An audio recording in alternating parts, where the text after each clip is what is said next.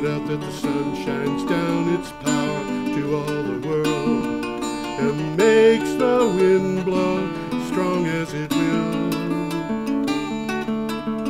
I wonder how gentle rains can fall upon the land so lovely earth can stay lovely still.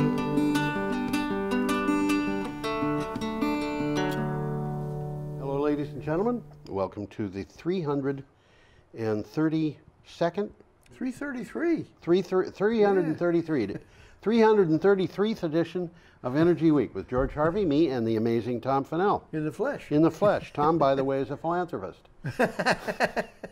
it's true. You, you do stuff for people all the time. He doesn't have huge amount of, amounts of money to give to the local opera company, but, you know, I mean, not like David Koch had, or David Koch. Where, where, did I hear that name? I don't know. We're going to be talking about somebody like that later. I think so. Anyway, We got a picture coming up. we not yet because I've got to talk. Oh, okay. Okay. The commercial. Well, I've got to give a commercial, and I've got to I've got to introduce the show. Every day I get up and I go to the news and I find whatever I can about energy and climate change, and um, each article I get a 50 to 55 word synopsis with a link to the original article. I put up 10 to 15 of those every day and uh, put them up on a blog, which is called geoharvey.com. How clever. how clever, a name for which I apologize. I didn't know what I was doing when I was filling the thing out, and I just thought, well, I don't know, I'll just throw something in there and then change it to whatever I can think of. And of course, I didn't have the opportunity to do that.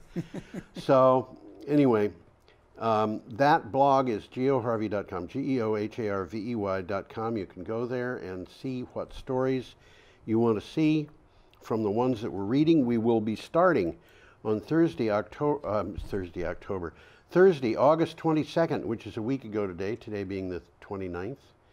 And um, if you want to read any of these articles, go to the blog, click on the date that you want to see of the article you want to see. We'll try to keep up on. Some of uh, these are well worth reading, and Yep. we're going to come across one later that I think is almost a must read. Absolutely. I'll mention it. There's a, actually a couple of them. However, um, I also have to make the, do the commercial. Bingo. And uh, basically, what's happened is that um, The state in their wisdom. yeah, the state. It's not the state of Vermont. It's the government. state of Washington D.C. Donald Trump and his company have decided that the rules about public access television have changed, and the result of that is that uh, BCTV, which is where we record the show, has had its um, budget cut, in effect, Well, I think or that its, the its community, funding cut. community TV stations haven't been particularly, uh, how would you say, worshipful of uh, Donald Trump. I don't think that's the reason. I think he's just up to mischief.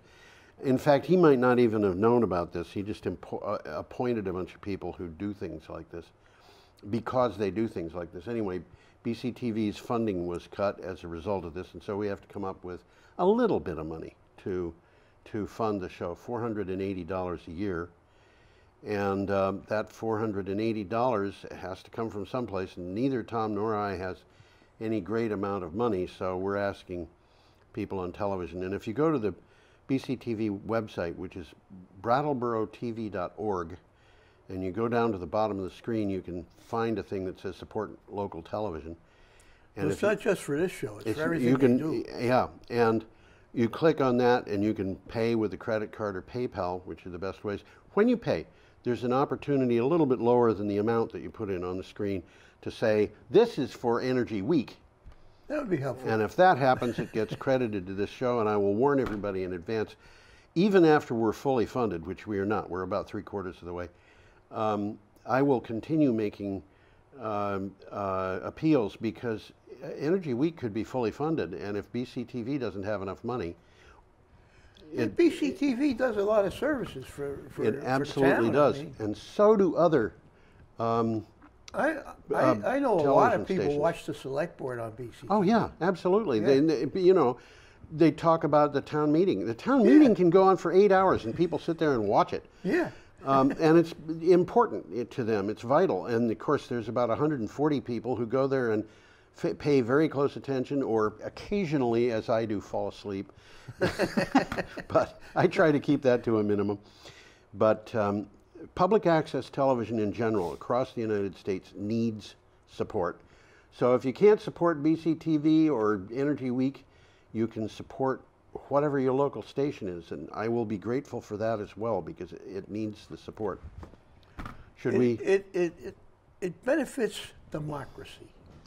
It benefits democracy, Yeah. absolutely. All of the select board meetings and town meetings and so forth. You get to know what's going on. that happen in eastern Windham County, well, not all of them, but many of them, um, appear on BCTV. And the people who live in the towns can see what's going on. you know what's going on. Yeah. Yeah. It's not like Bennington where they hold these private sessions. They don't hold private sessions. They do. In Bennington? Yeah, the, se- the select board closes closes the, the sessions and uh, you can't hear Well, they, they're do that in Brattleboro too. There are there are executive sessions in Yeah. Brattleboro. There's rules about that. They have to tell you why they ha- did that, and they have to. Um, there are certain things, like for example, if they're discussing whether or not to sign a contract, I know that. Yeah, that's in that's written in. and there are certain rules about what they can exclude from public access Yeah. and what they can't. And if they're if they're um, but ne- don't believe conspiracy theories just because they're conspiracy theories. Some conspiracy theories aren't true, And some of them are. and some I believe that there are some that are. I, my favorite conspiracy theory is the conspiracy theory that says that there are people out there who are actually purposely generating conspiracy theories that they know aren't true. Okay, we should get going on this. I think we should. And We we have a picture here, which is a nice picture of a of a farm.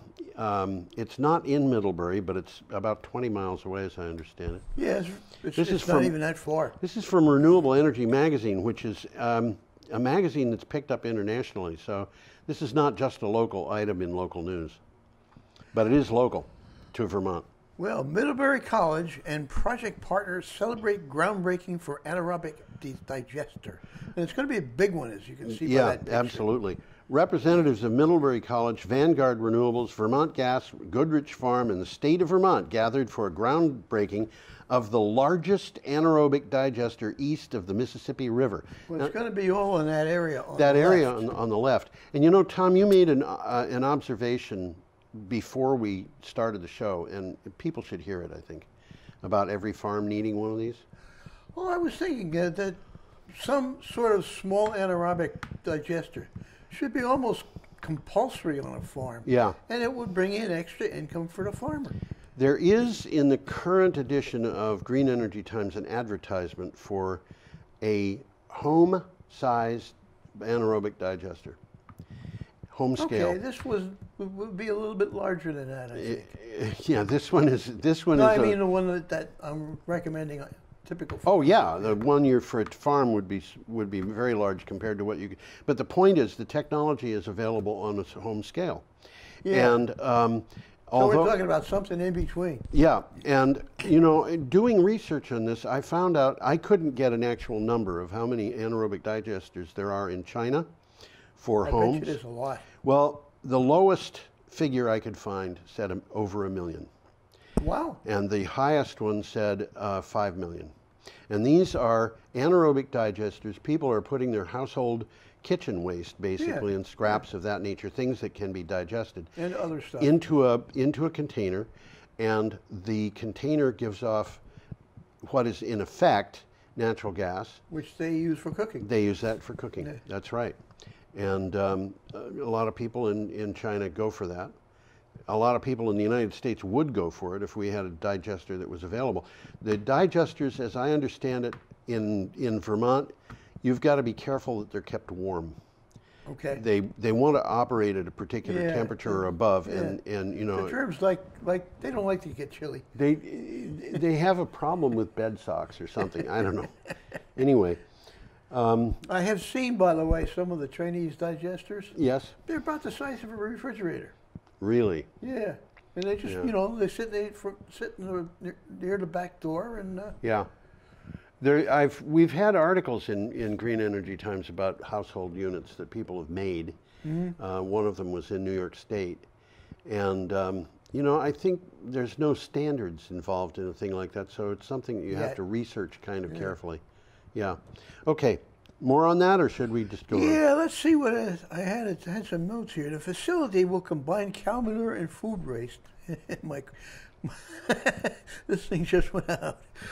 Uh, cow manure and food waste to create renewable natural gas, which will travel by pipeline to Middlebury College's main power plant. Yeah, the pipeline was put in to carry natural gas from Yeah, it's State. it's already there. I mean, it's a pipeline Yeah. not just for this. The college also operates a biomass plant, which provides some of the college's electricity.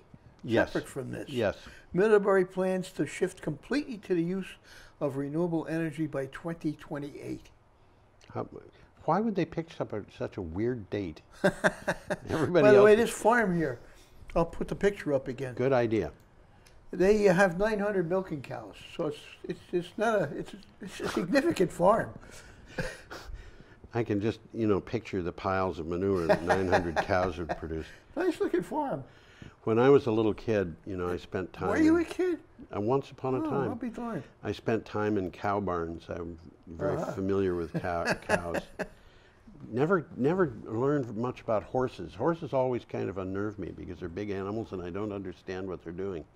Cows don't bother me.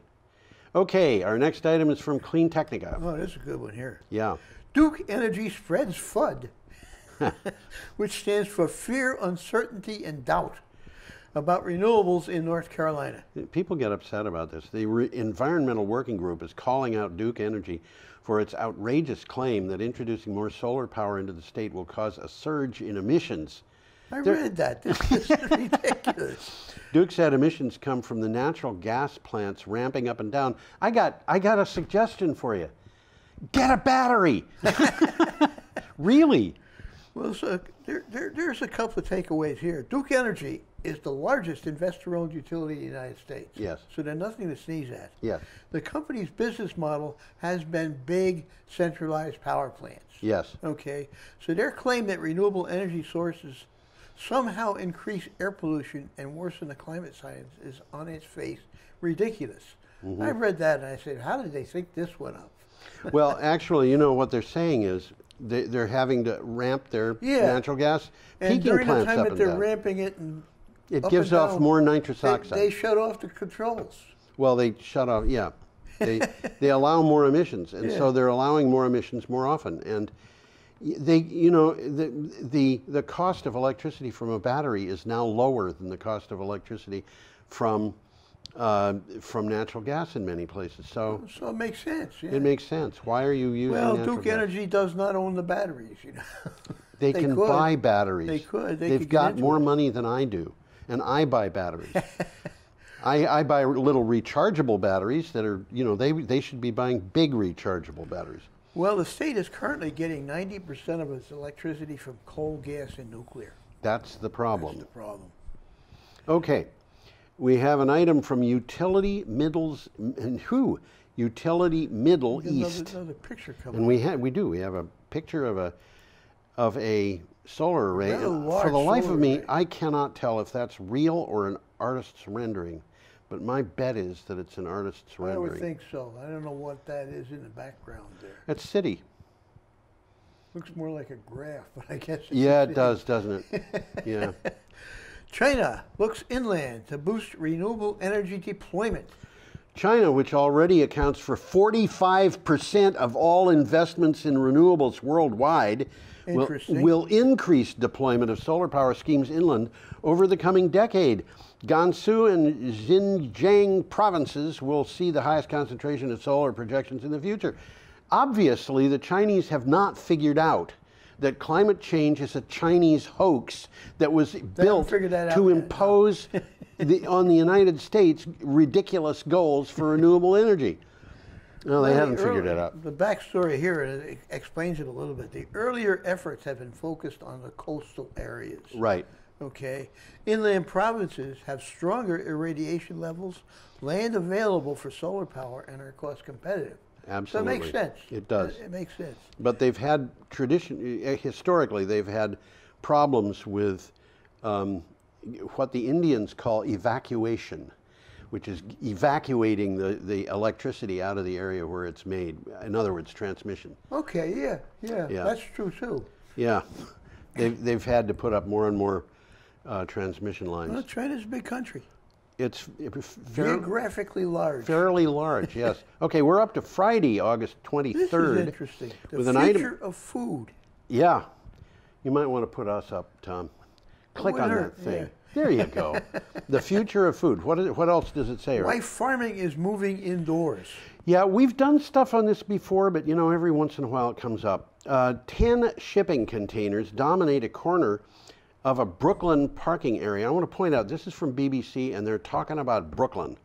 Um, each is full of climate control tech, growing herbs that are distributed to local stores on bicycles. Yeah, there's a picture of that. Well, there's a lot of images in this article. Yes, there are. This is literally urban farming. Lighting, humidity, and temperature are all controlled in hydroponic indoor farming. And That's an idea whose time Yeah. has come. I have a friend who does not like hydroponic farming. Uh, sorry for him. Well, she she says, how do they know what to put in the in the you know the the fertilizing stuff? Do they keep track of you know things like how much I don't know. I think they keep track of almost everything. They they keep track of the stuff they know the plants need. Yeah. But there's stuff that they don't know the plants need, and they don't keep track of that. Okay. And um, so sh that's that's her problem. It isn't really natural. But I did an interview for Green Energy Times a couple of years ago of a um, uh, people of s- some people who own a, own a greenhouse called Leaf L E F with a long uh, thing over the E, which is in New Hampshire, and they told me that they were able to get a million pounds of pro, of produce out of one acre greenhouse each I've year. heard this stuff like this before. The, the, the, the yield is incredible. It's unbelievable. And when you do this in shipping containers in Brooklyn, that means that you've got a million pounds per acre of this stuff. Ten shipping containers can feed a lot of people. Now, my you're friend, three miles away from Manhattan where they can use it. use well, you're within bicycle range of everybody who's eating this Yeah. stuff. My friend, who doesn't like hydroponics, tasted the stuff from Leaf, and she said, "This is amazing. It's so good." No kidding. Yeah. Yeah. How about that? Yeah. How about that? Okay. Well, for what it's worth here, the lot where this stuff is happening is right next to the housing project where rapper Jay Z grew up. I wonder if rapper Jay Z has got anything to do with it. and I found out why he is rapper Jay Z. Oh, did you? Yeah, there's a subway train runs right by this housing project. Yes. And they have, and they the, the the names of the trains are the J and the Z. Really? Yeah. and and his music is based on the sound of the of the wheels on the tracks going I clack guess clack. it is. Yeah, I guess it Screech is. screech clack clack. Okay. Well, there's stuff that's that I was going to say, but we've covered it already. Okay. We've got an item from CNN now. Well, the last sentence here: produce is grown on trays stacked ceiling high. Yeah. Okay, so they use all the space, and everything is run by computers which control light, water, and nutrients. Yeah. And you can get a huge amount of growing area into a, a very a small very small space. They don't have to weed these things because there's no weeds No weeds. around. Uh-huh. You know. Okay. We have a picture of Bernie Sanders. Is that is that who that is? I think it is. He looks very serious in that picture. he looks very familiar. Yeah. I've yelled at him. Have you? Yeah, I, I yelled, "Thank you, Bernie!"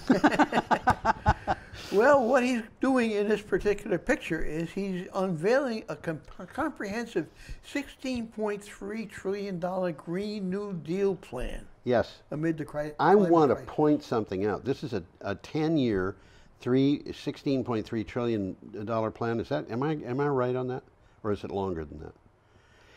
Uh, let me It's at least 10 years. Yeah, let me let me read the thing. It says Bernie Sanders added progressive meat to the bones of the Green New Deal with the, the release of a comprehensive 16.3 trillion dollar climate change program ahead of a, pa- a campaign stop in Paradise, California, the city leveled by a devastating 2018 wi- wildfire.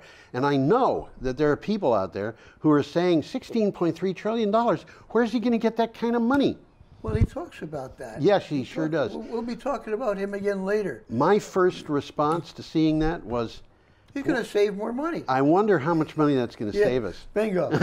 we will we'll cover that again because there's Yeah, more coming. we will indeed. There's a nice three-minute video in this article Yes. that's worth watching. It's a CNN. CNN always does a pretty good Yes. job on their website. So he was an early backer of the Green New Deal that was introduced by Representative Alexandria Ocasio-Cortez and Earl Blumenauer. Yes. In a plan, we've talked about it, that calls for a World War II style mobilization Right. to halt and reverse the effects of global warming over a decade. Huh? Yes. He promises to aggressively enforce the Clean Air Act, as opposed to our present incumbent, Incumbent or incompetent? to restrict dangerous emissions. But the proposals go much further. He would cut subsidies to fossil fuel companies, oh my God, and impose bans on extractive practices, including fracking and mountaintop removal, Yeah. while halting the import and export of coal, gas, and natural coal, oil, and natural gas. right. Sounds like it makes sense to Well, me. Well, the thing is, if we don't pay a, a carbon tax now to get the carbon out of the environment, we're going to have to subsidize oil in the near future. We're doing it now. Yeah, I mean, uh, Subsidize them more. more. And I'm figuring that that you know the the stuff that we've seen projections that we've seen for the oil industry, from you know the shipping industry and the banking industry and so forth, tell us that we've got about five years of oil, and after that, it's going to be a problem, and for especially for Americans because we are getting We're running out of oil. but we're getting more dependent on it, and the rest of the world is reducing its dependent in, uh, dependency. And as a matter of fact, I don't, didn't put it into this week's show, but I've been seeing things saying the glut of natural gas in the United States is now across the world. People, the demand for natural gas is declining. That's interesting. Yeah. Okay. Let's move along here. We have an item from BBC. We do, we do. Amazon fires. This is scary. Our is. house is burning. Macron warns ahead of the G7. French President Emmanuel Ma- Macron said the record number of fires in the Amazon rainforest is an, quote, international crisis, end quote, that needs to top the agenda at this week's G7 summit. Brazil's President Jair Bol- Bol- uh, Bolsonaro said Macron's uh, call, calls evoke, quote, a misplaced colonial mindset, end quote. Well, this guy, Bolsonaro, is a Trump clone. He's, um, He's a few, little bit on a extreme side down Well, the, today I saw that a former president of Brazil um, just said this man is evil. Okay. And that's pretty straight talking.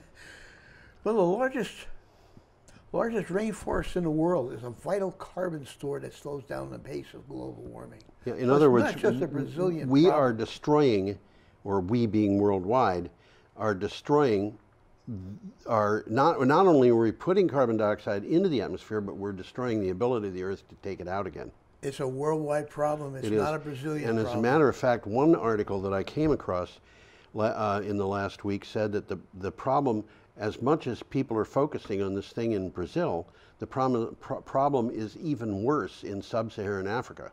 is it really? That's what they Wow. said. Well, uh, satellite data has shown an increase of 85% this year in fires across Brazil's Amazon. Yeah, Okay, and we've seen pictures of it. we They're have. all over the uh, place. they're, okay? they're horrible. Environmental groups say the fires are linked to Bolsonaro's policies. Well, they're man-made. This isn't caused by lightning.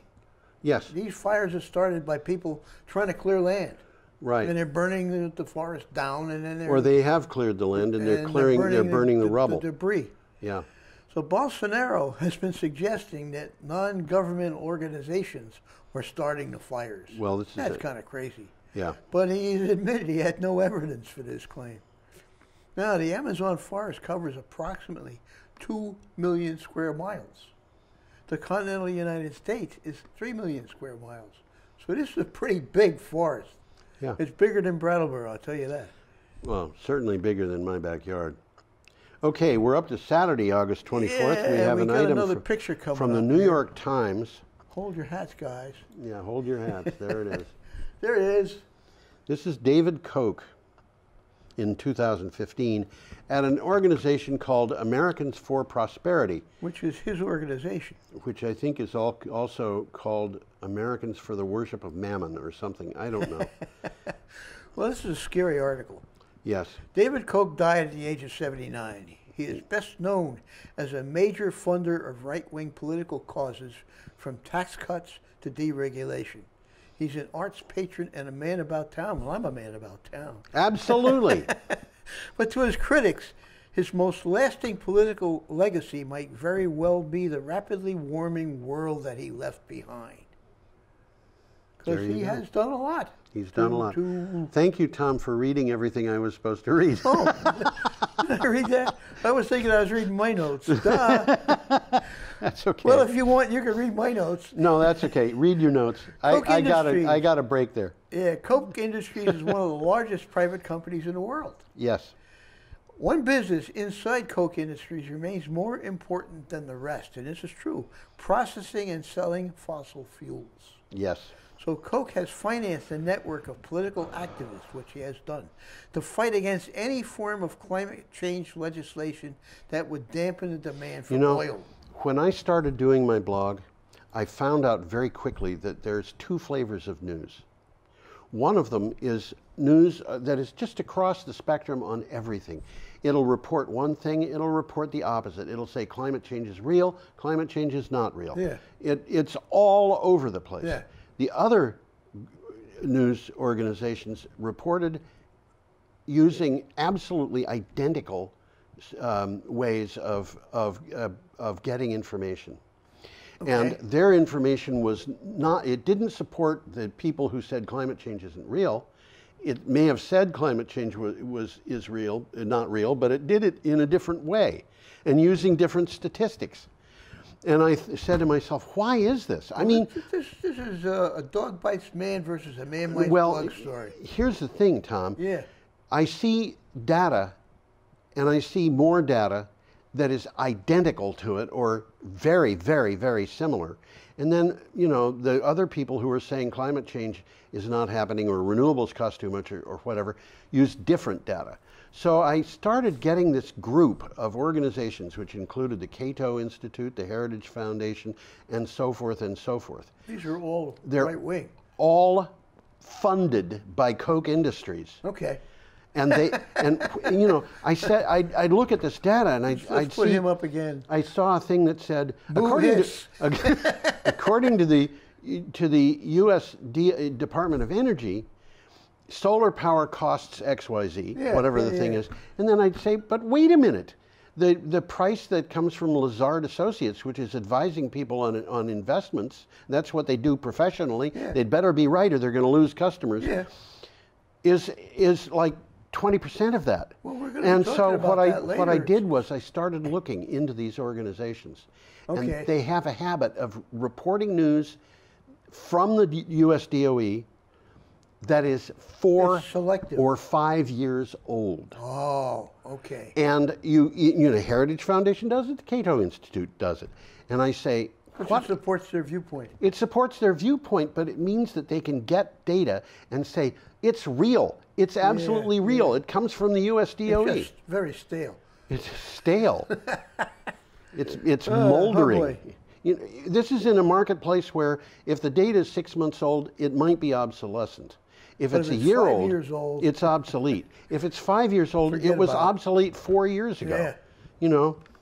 Okay, I'm sorry. I'm I'm And we got we got a good one coming up. This is a very good article. It's a long. This is almost a must read. okay.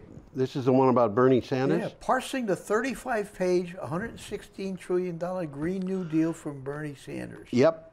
Bernie's plan is projected to cost $16 trillion over the next 15 years. Okay, so that's a trillion dollars a year. But Sanders says it will pay for itself by eliminating fossil fuel subsidies, requiring fossil fuel companies to pay the damage for their, uh, their products due, and adding tax benefits uh, for adding uh, $20 million, new, 20 million new workers.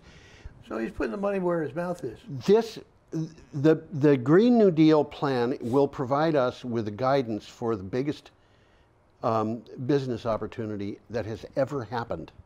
I've heard other people say that. Yeah. And you, you know, the, people are people are going to be saying, "Wait a minute, sixteen trillion dollars. Where's that going to come from?" Well, Well, he explains he it. explains it. So right what he's saying is, if they're going to dump trash in your backyard, now we're going to make them pick the trash up. Duh. We are not going to pay them subsidies while they're they they being people who are arguing against subsidies for everybody Yeah, else. yeah. And we're Well, going they to got a they got a business model basically that says privatize the profits and socialize the costs. absolutely. Well, Bernie's plan is interesting. The Yeah. article is interesting, and there's a link in the article to the document itself. And I certainly recommend people read the article. And it's long, and if you have time, read the document because it's it's there's a lot of meat There's there. a lot of meat in that document. It's well worth reading. It's, It's one part- of a partly a reprise of the New Deal that FDR used to help the nation, you know pull the nation out of the depression. People for, forget what that was.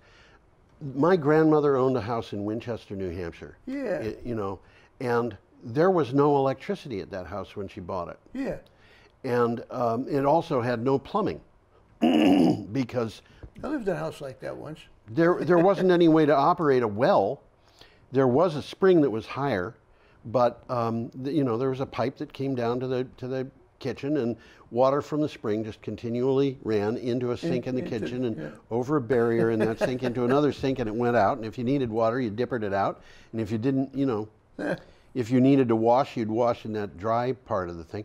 But she got electricity. And the cost of bringing that electricity to that house today, from the nearest today. place that was had ele- would have had electricity in those days, probably would have been in the in the dozens of thousands of dollars, scores of thousands because it's of dollars. happening in Vermont right still. Well, Nancy Rae Mallery, the editor of Green Energy Times, lives off grid yeah, she put an amount I, I don't know how much $35000 into a solar array and batteries and all that stuff so she could live off grid comfortably and the the alternative to that was to bring in electricity at a slightly higher price would it cost more than thirty-five grand? Yeah. Wow.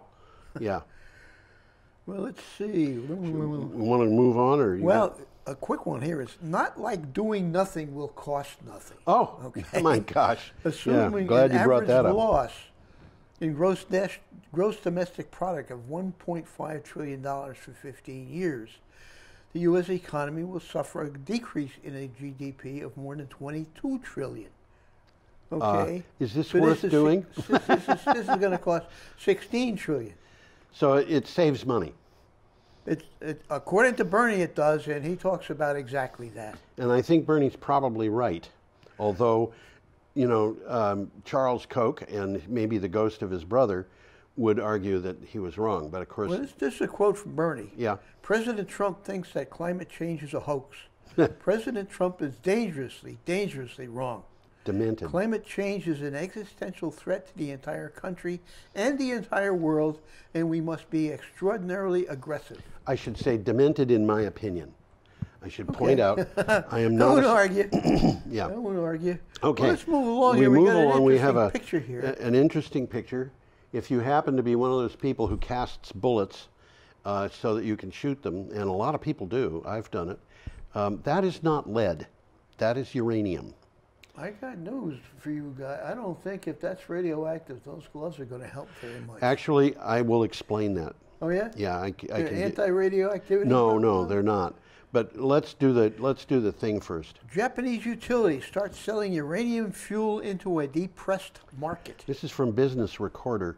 Japan's nuclear operators are starting to sell some of their huge holdings of uranium fuel as chances fade of restarting any more reactors eight years after the Fukushima nuclear disaster.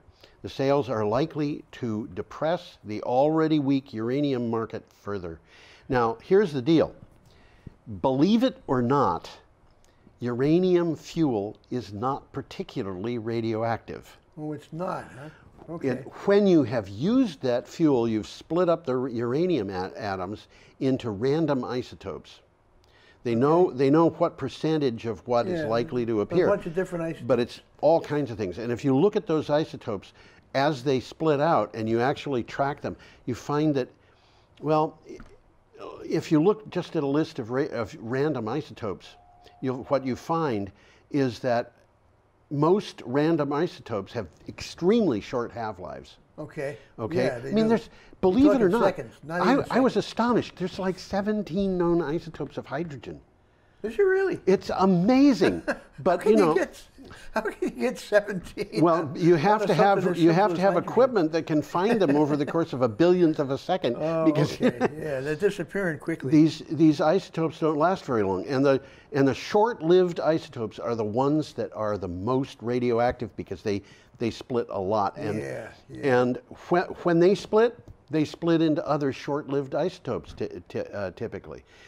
This uranium, which is a mix of uranium 235 and uranium 238, okay, the the the half-lives of these things are in millions and millions and millions of years. Mm-hmm.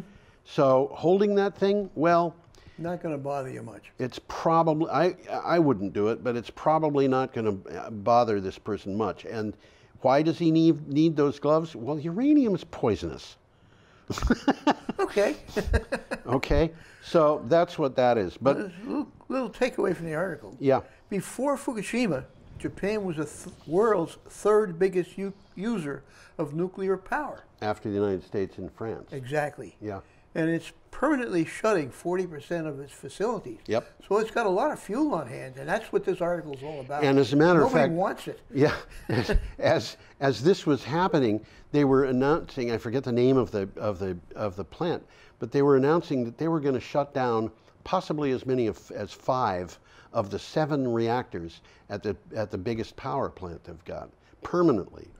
Okay. You know, I mean, they're just they're going out of the nuclear business. They're doing it as slowly as they possibly can, because the alternative that they would have to do if they just shut it down, or when they shut it down, was to burn a lot of coal and natural gas, which they don't want to do. But so they got to kind of ease into this. they that's what they feel. I think that it would be better if they just went into n- renewables as fast as they possibly could. But they would argue, I think, that they're already going into renewables as fast as they possibly can. Okay, well, moving along, we're up to Sunday. we are up to Sunday, August 25th, and we have an item from Truth Out. Is another long article. This is worth reading if you got the time. Yeah, it is. Can we reach 100% renewable energy in time to avert a climate catastrophe? And you know, this is this is fun actually. okay.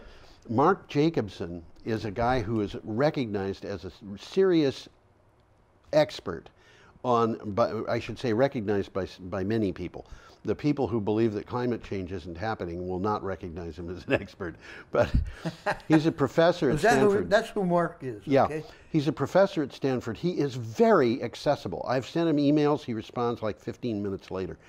Um, he he. Um, uh, well, let me read this. This is from Truth Out. Mark Jab- Jacobson is less depressed than he was a decade ago, when he and Mark Delucchi wrote a, ma- a roadmap for becoming 100% reliant on energy generated by water, wind, and sun by 2030. Which isn't a bad idea. Not a bad idea. And this is despite the precarious position that climate change put us in.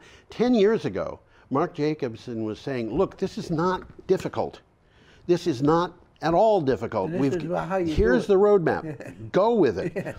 And today he's saying, well, you know, I would have gone faster, but we can still go with it. And my reaction to this is 10 years ago, we had all the technology we needed to, to stop climate change. But we but they were a little bit more expensive than they are today. And we've delayed too much. So Yeah, I'm going to say we don't have all the technology that we need to, to, to, to stop climate change anymore because we've, we've dilly dallied too long. But on the other hand, we will develop the technology. I am absolutely convinced. And it's cost competitive. It- It's not only is it cost competitive, but it's fun, maybe. I mean, seriously, some of the technology that we're going to develop is things like, like reforestation, Yep. for uh, uh, uh, greening deserts, and there's going to be some real big opportunities for people Well, to go out and do things. about the uh, Sahara. yeah, and Greening the Sahara. the kids, you know, um, uh, the, in the last select board meeting here in Brattleboro, Yeah. there were kids who came in with it, asking the select board to, to, to declare a climate, climate emergency. emergency. And I will tell you, those kids are terrified for their futures.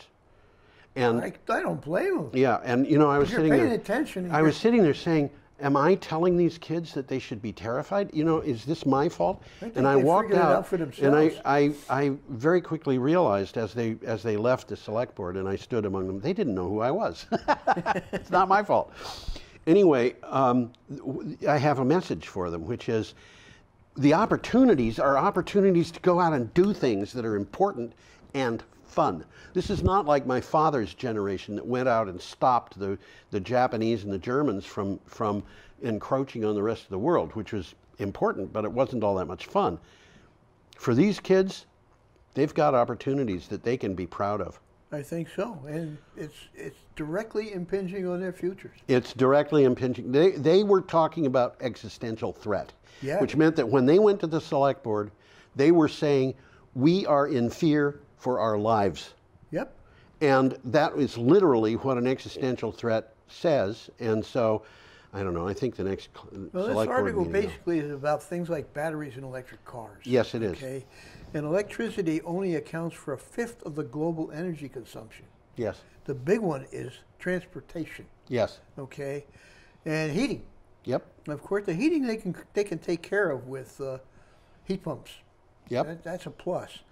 But uh, they're, they're going to have to similarly expand transportation alternatives, electric cars and stuff.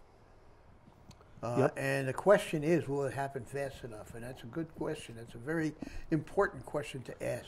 Okay, Tom, we've got eight items left and 17 and a half minutes to do it. I so think we can do that. I think we can. Okay, We we've got, got, a wild, coming up here, wildfire. this is a wildfire. In And this is get it. This is from Ceylon, not Ceylon, Ceylon. Ceylon. Yet another real estate related crisis has come up in California. You're supposed to say that. Parts of California are too wildfire prone to insure. That's Yet another, supposed to y- say. yeah, yet another real estate related crisis has come up in California, but we're not talking about sky high home prices. According to newly released data, it's simply becoming too risky to insure homes in big swaths of the fire wildfire prone state. So homeowners are having to turn to the state itself. Well, what's happening here is the insurance companies aren't renewing policies in areas that they say are likely to burn in wildfires. Mm-hmm. So the people are going to the state. They go, the state has a program called Fair Access to Insurance. Mm-hmm. Okay. Only problem is it costs about three times as much.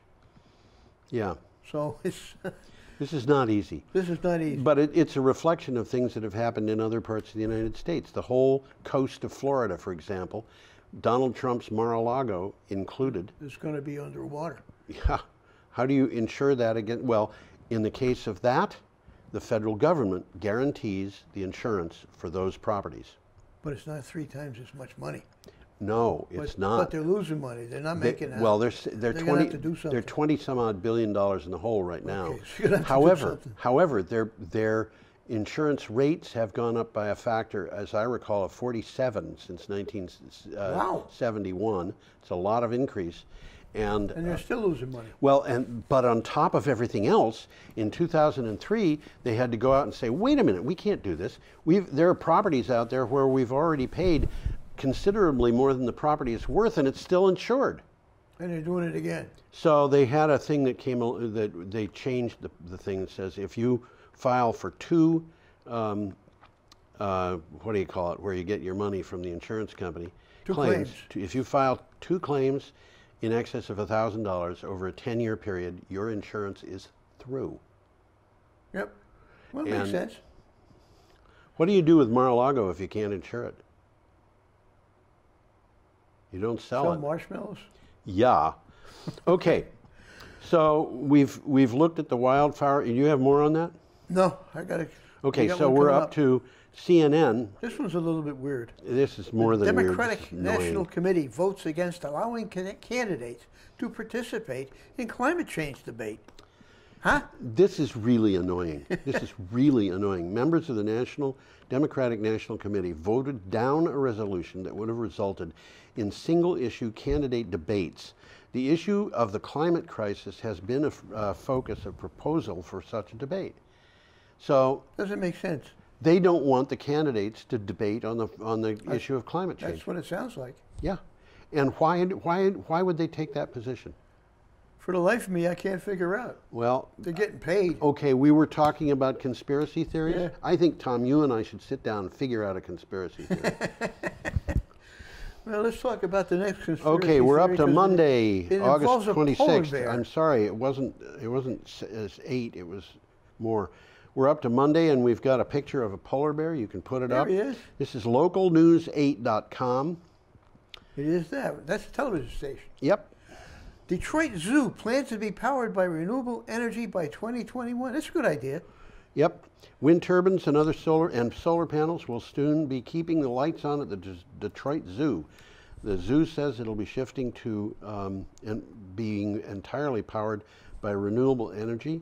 It will use DTE's MI Green Power program, DTE being the, the Detroit um, Electric, Detroit, yeah, Detroit Electric. um, to get utility. electricity from renewable sources coming online in 2020.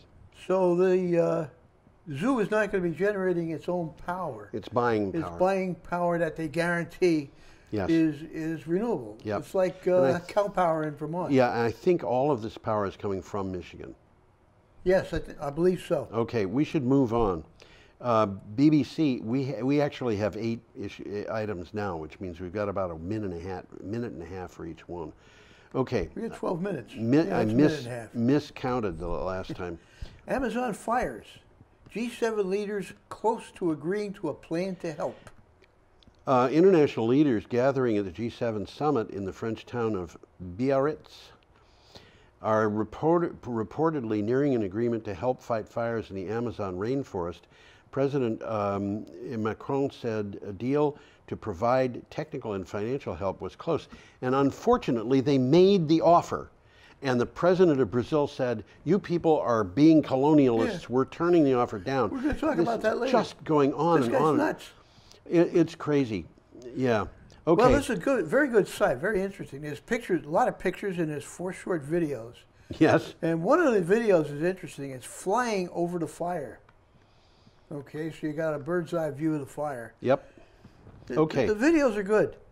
Our next So item if is from the San Francisco. Chronicle. I'm pushing you to move on because we've got to get. I want to get through all of our stuff. Well, Sanders says support the coal country while combating climate Well, he change. cares tells about the coal to miners. do that. He cares about the coal miners. Democratic presidential uh, candidate Bernie S- Sanders told voters in coal producing Kentucky that it was possible to be a friend of coal miners while also being a believer in climate change and the need for cleaner energy sources to combat it. And these people are living in areas where there's opportunities for renewable power that are going untapped. And that's what he's doing. That's Yeah. what he's talking about. He says, "Look, Yeah. coal's over. Coal, get get. You might get, as well get with used to it. Yep. Coal's over. Here's what you should do. We'll help you." Now I have just lo- you you uh, tell us where we're going on the next one because The next one is Tuesday, August 27th. okay, here we go. There we go. Tuesday, August 27th from the BBC, and we have It a is from the picture here. BBC. We got another picture. This is a here. burned area of the Amazon, and I don't think that was forest in that picture. There's forest in the background, but in the foreground, I don't see any big tree trunks. So I think that was that was scrub. That was scrub. Yeah. So Well, that's what's burning. Really, it's mostly scrub that's yeah, burning there. yeah. Amazon fires Brazil to reject G7 offer of 22 million dollars in aid. And The- by the way, there's a, there's almost 2,000 fires going there. Yeah, and it's impossible in many cases to locate them all because, as you said, it's scrub, but it's under a forest canopy, So you don't see it. so you don't see it from above. Yeah, there's small. There are many, many, many small fires, and some big ones. Um, the Brazilian government said it will reject the 22 million in aid from G7 countries to help tack tackle the Amazon rainforest fires. Brazilian officials gave no reason for turning down the n- money, but President uh, Bolsonaro, Bolsonaro accused France of treating Brazil like a colony. this guy's nuts. Well, the political direction of governance in the Amazon is changing under Bolsonaro. Yeah, And he's quoting These countries that send money here, they don't send it out of charity. They send it with the aim of interfering with our sovereignty. interfering with his desires, I think, is more like it. Basically, Uh, yeah. Our next item is from The Driven. Yeah, I never heard of the Driven. I hadn't either. ACT, and we'll find out what ACT means in a second, finalizes the shift to 100% renewables, now eyes transition to electric vehicles. The Australian Capital Territory, Australia's equivalent of the District of Columbia. Yes, ACT equals DC. Yeah, that's right. And it actually is, I believe, a copy of the the way It's that we did identical. things. It's, Yeah. it's a separate, it's not a state, it's not a, it's Yeah. a city, but it's a, its own It's a dis- district. Um, the ACT has a plan to decarbonize its transportation sector, which is picking up pace and is set to take center stage as the territory is completing its shift to 100% renewable electricity and the first phase of its goal in and the first phase of its goal to zero emissions by 2045. So they're, that's what they're getting to. They, they're basically done with, they're not actually done because as they shift to electric vehicles, they're going to have to have more electricity. Well, right now, they've lifted their share of renewables to 74% of electricity already. Right, So and they're the finishing track. it up. Okay, the and next, one of the things they're going to do, and this is something we ought to do, newly leased vehicles for the government fleets will be 50% electric by 2020 and 100% by 2021. right, And it makes sense economically. absolutely. Our next item is from the Environmental Working Group, still August 27th. Uh, Trump skips the G7 climate meeting, slams renewable energy, but insists I'm an environmentalist. And I'm going to stick this one in here. The president of this environmental group says, and I'm the prime minister of Greenland. Yeah. After skipping a key meeting on climate change at the G7 7 summit, Trump said he would not jeopardize oil, coal, and natural gas industry profits by promoting renewable energy. He also told reporters, quote, I'm an environmentalist, end quote. And you know what else he said? He What said that he, he, did, was, he, he said, when they asked him about the, the climate meeting, he said, that's the next thing coming up. And then somebody said, uh, Mr. President, it just happened. And, and the, the White House staff explained that he couldn't go to it because he was meeting with the leaders of um, the UK and Germany.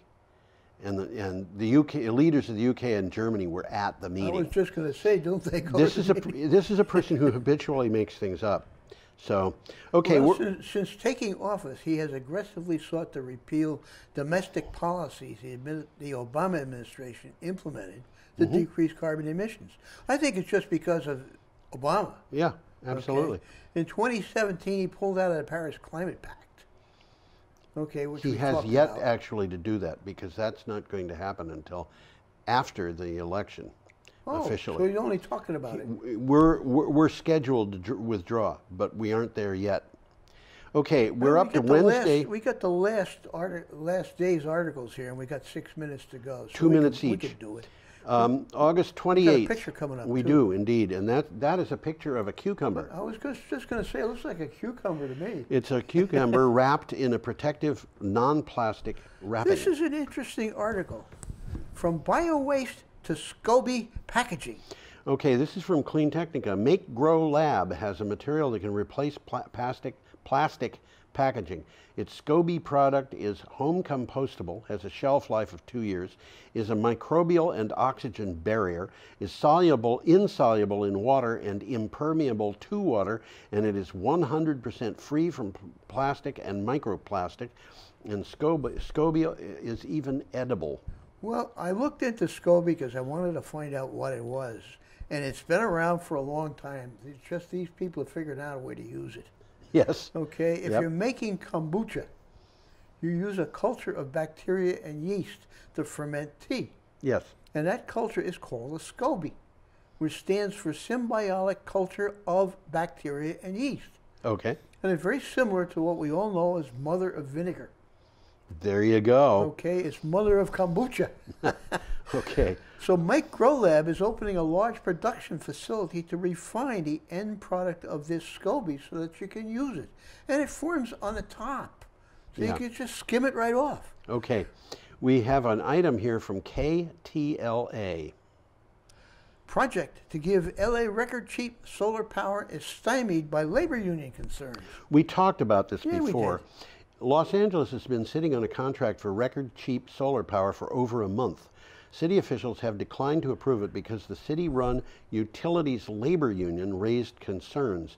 It is still fuming over its decision to shut down three gas po- uh, fired power plants. I can This see is, why they're upset, but this is a big contract. This is for 300 megawatts and uh, what was it, 150 megawatts? well, I got it. The Beacon Solar Project in Kern County delivers electricity to the Los Angeles Department of Water Power. It's doing that now. Yeah. Okay. Under a 25-year contract. You ready? You sitting down? Hmm.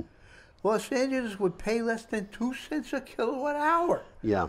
The lowest price ever paid for solar power in the United States, United and States, yeah. cheaper than the cost of electricity for and natural gas. and this contract would involve putting in a battery that will deliver power at, at 1.3 cents it per would kilowatt hour. exactly. It would include at least 200 megawatts of lithium-ion batteries. There we go. Capable of storing solar power during the day and injecting it into the grid for four hours each night. And as you said, it's going to cost three and a half cents a kilowatt hour. So the union is saying we don't want to do this, but the fact is the solar power and the battery combined so that you're actually paying the highest price that you would pay out of this deal is less expensive than the three power plants.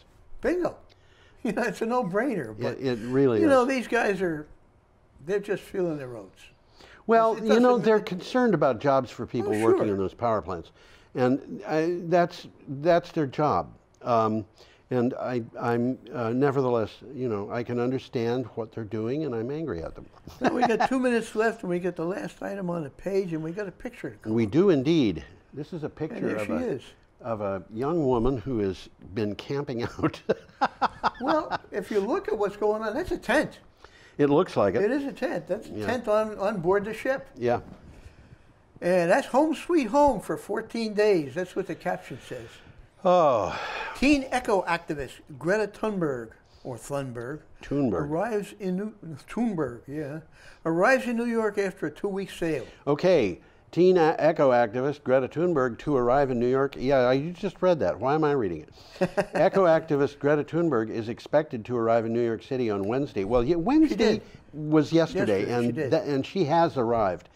Uh, two weeks after she set sail from the English coastline, Plymouth to be exact, and part of her as part of her campaign to pressure politicians to put climate change at the top of their agendas. This is from NBC New York, and she- has made it across the ocean. We've mentioned that she's traveling on a 60-foot sailing yacht. Yes. Okay, it's outfitted with solar panels, so it, it gets its energy from the sun and so from turbines underwater. I thought the tur- it had wind turbines. The article said underwater turbines. I think it's wind turbines. Uh, wind- well, und- either way, it's wind because the wind Yeah. is powering the boat. yeah. It- it- I thought it was wind might be- turbines too, but you might be right. You might be right. In, in any case, uh, well, we're the the uh, solar panels and the turbines allowed her to make a, a zero carbon transatlantic journey. And then there's a whole bunch of people who are pointing out that the crew is going to have to fly back, and so it's it's not carbon free. And in fact, she would have been How are they better going to get the boat back? They'll have a different crew. crew. Oh, and, and and she's got to go to Chile, and she's not going to go to Chile on a sailing yacht. I can tell you that. no, I, I'm sure of that. So how is she going to get there? Probably by plane. And how is she going to get back to to uh, Sweden from New, from the New World? Probably by plane.